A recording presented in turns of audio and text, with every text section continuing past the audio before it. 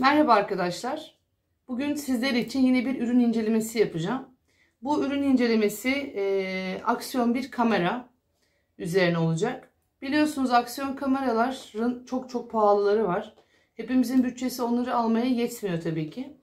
Ben de böyle uygun fiyatlı e, bir aksiyon kamera aldım. 4K çekim yapıyor ve çift ekranı var bunun.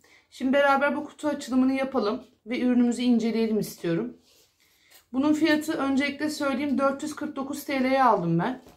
E, markası Pireo My Camera modeli. 4K çift ekranlı aksiyon kamera olarak geçiyor. Gördüğünüz gibi şöyle bir kumandası var. Bunu bileğinize takıyorsunuz ve fotoğraf video modlarını değiştirebiliyorsunuz. Ee, özellikle selfie çekerken çok ideal. Video çekimini 4K yapabiliyorsunuz. 4K video çekimi yaptığınız zaman 30 FPS e, yani biliyorsunuz işte 30 kare bir saniyede görüntüleyebiliyor.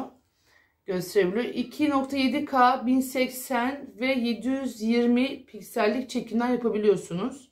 720 piksele düşerseniz 120 fps hatta oluyor bu. Mikrofon ve hoparlörü yerleşik kendisinde. Ağır çekim modu var kameramızın. 720 ve 1080p şeklinde.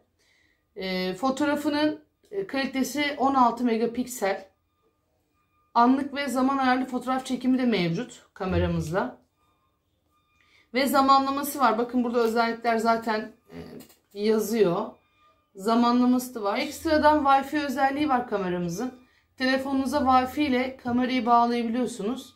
Ve e, herhangi bir sosyal platformda çekim yaparken direktmen kameranın ekran, ekranını e, o platforma yansıtabiliyorsunuz. Böyle bir özelliği var bu kameranın. Güzel bir özellik. Su altında 30 metreye kadar çekim yapabiliyor. Bu da çok güzel bir özellik. Bunun için görüyorsunuz koruyucu kabı da var. Ayrıca bu kameranın bir ekstra özelliği de webcam olma özelliği. Webcam olarak kullanabiliyorsunuz. Şimdi kutu açılımına geçelim.